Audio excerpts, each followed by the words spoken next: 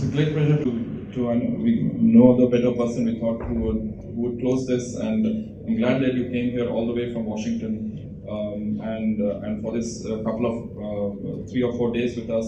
Uh, for people who don't, don't know, Richenda has been a champion for energy access.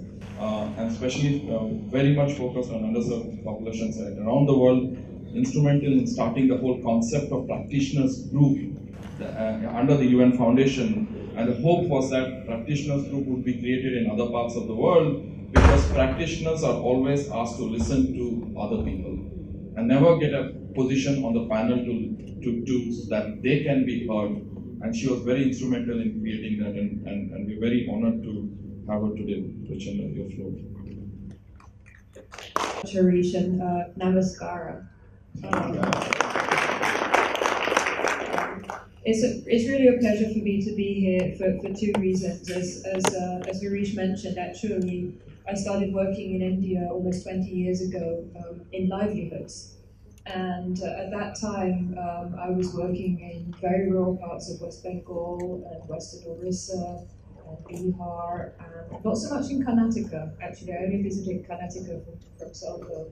Um, and there was a lot that we could do by helping bring financing to entrepreneurs, but at that time we did not have affordable solar energy systems. And so there was only so far that we could go. So we could still help increase incomes. Um, but really, it's a pleasure for me today to be here because um, this is the first workshop that I've been to um, that actually combines livelihoods with energy. Um, and I have to say, globally, it's the first workshop that I've been to under the Sustainable Development Goals backing by livelihoods and energy. So really kudos to everybody at Selco, Selco Foundation, uh, the partners that you're working with. Um, and, and I really want to start off as well just by saying thank you to all of the entrepreneurs who have taken time out from your businesses to spend two days here helping us learn and understand what works for you, what helps you with your businesses, what interventions are useful, what do you need, um, and what makes a difference. So, one challenge that has come up recently um, in a magazine called The Economist, which uh, many of you know internationally, um, they recently published a piece two months ago um, using one tiny study from Rwanda that said actually energy access doesn't really help the poor very much. And many of us were outraged at that. Um, and so I really want to just ask all of you who are entrepreneurs who have benefited from solar, um, if it has helped to increase your income, please could you just raise your hands?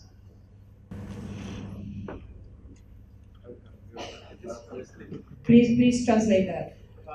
Uh, ಯಾರ್ಯಾರು ಇಲ್ಲಿ entrepreneurs ಬಂದಿದ್ದೀರಾ ನಿಮ್ಮ ಉದ್ಯಮ ದಯವಿಟ್ಟು ಕೈ ಎತ್ತಿ ಆದಾಯ ಯಾರ್ಯಾರಿಗೆ ಜಾಸ್ತಿ ಆಗಿದೆ ನೀವು ಸೋಲಾರ್ ಯೂಸ್ ಮಾಡಿ ಶುರು ಮಾಡಿದ್ರೆ ಅವರೆಲ್ಲ ಕೈ ಎತ್ತಿ So thank you very much. And I know a number of you have shared your stories over the last two days, but I just really wanted to prove the point. And for those of us who work in the international arena, um, I just really want to take that message back. Um, academics will say what they will, but we know the truth um, from the lives of, of all of you and the stories that you've been sharing. So um, a few learnings that I've, I've had uh, to take away. Um, uh, and, and, and, really, I, I, just want to say also that, that India is very much leading the way in this. Uh, we've got people who are uh, with us um, who are working in sub-Saharan Africa as well and just starting out, uh, looking at Thomas DeVoe, who's starting out work, taking some of these interventions to Nigeria as well and the, the examples um, and the work that's been done already here by Selco Foundation and its partners on so many different types of livelihood and the way that energy interventions can be an entry point um, is, is really something that we are also still working on in other parts of the world. So thank you to um, India for your leadership in this area as well. Um, another point I, I just want to, to touch upon is um, in the energy access sector, we've at times become very focused on the energy. Um, and one of the things, again, that I'm going to take away from these two days is I've actually heard relatively little about the technology over these last two days. In the demonstrations, we've, we've heard about how many watts for the electric sewing machine or for the rice miller. What I've really heard far more about, however, has been, and sorry to all the bankers, about financing. Um, some of the financing challenges, but also the opportunities. So, what are the needs of consumers? What kinds of financing actually help them with getting the innovations that they need? I've heard about innovation. I've heard about innovation, and we tend to talk about end users, but actually, end users are the starting point. They are the innovators. And we've heard so much over the last two days about them being leaders in terms of the innovations, and then the rest of us learning from them and then helping to take those learnings into other communities as well. I've also learned about the training that's required as well. And again, it's training on both sides. Uh, we had the speaker who started out this morning focusing really on vocational training and retraining. But there's also training of those of us who are trying to support people in communities about what their needs are. It's a two way street. We can train on business planning, but we get trained on what is actually happening in the agricultural supply chain or the value chain. Gauri Singh earlier was talking about the evidence that's needed for scaling. And again, I think we've, we've already amassed here a, a terrific body of evidence that uh, can be taken back into the, the national setting, but also back into the international setting, as I mentioned earlier, where sometimes people get too abstract um, and really don't focus on the impact that it's having on people's lives and their livelihoods. Um, beyond all of that, beyond the ecosystem of services that's required, where energy may be one intervention, but it's not the only intervention, it's really a network of interventions.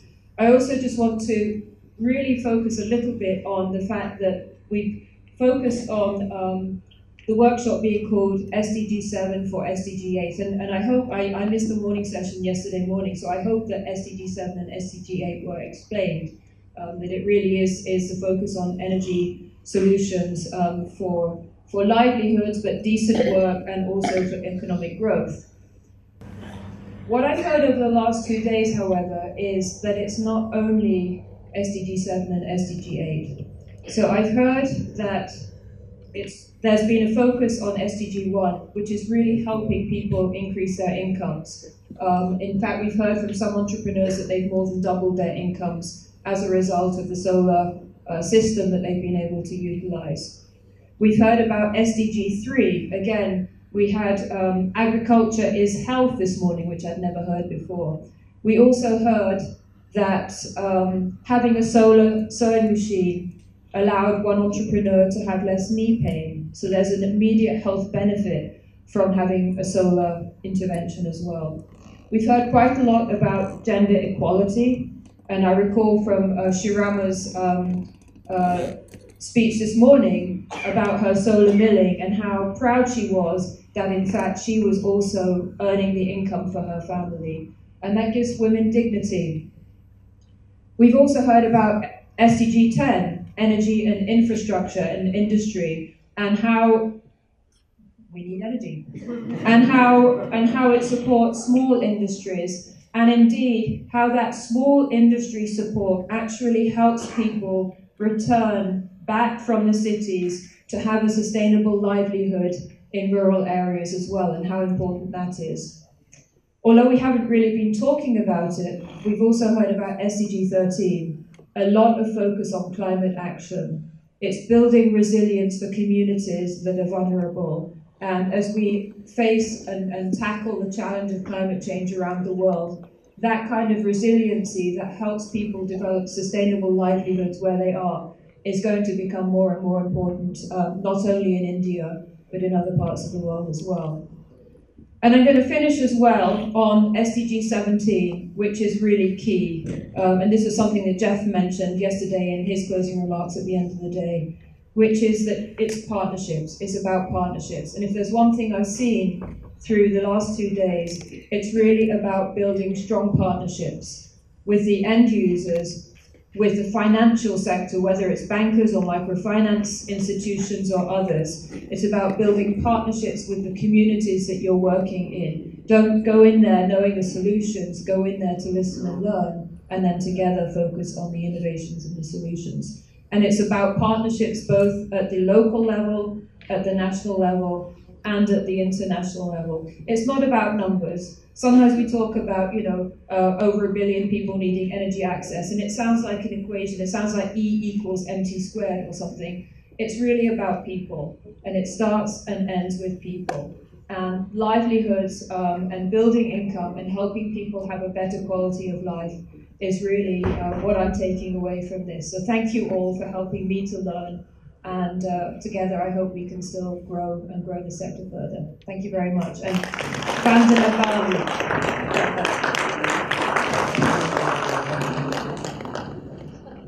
What do I say? We couldn't have asked better. Thank you, Richenda. My colleague will uh, present with the seminar.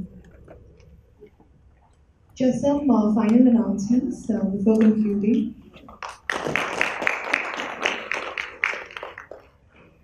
Um, kindly give um, your boarding pass. Uh, this is to all the speakers and uh, the partners to whom our uh, team had done the travel arrangements. Um, kindly give your boarding pass back to the registration desk. Uh, also to everyone, deposit your name tags back to the registration desk because we would use it for the next event.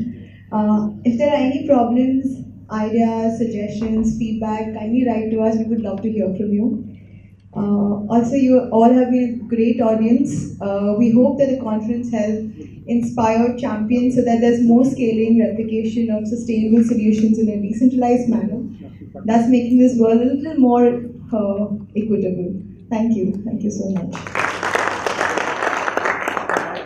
Also, um, all the people, uh, kindly give back your headphones uh, to the registration desk.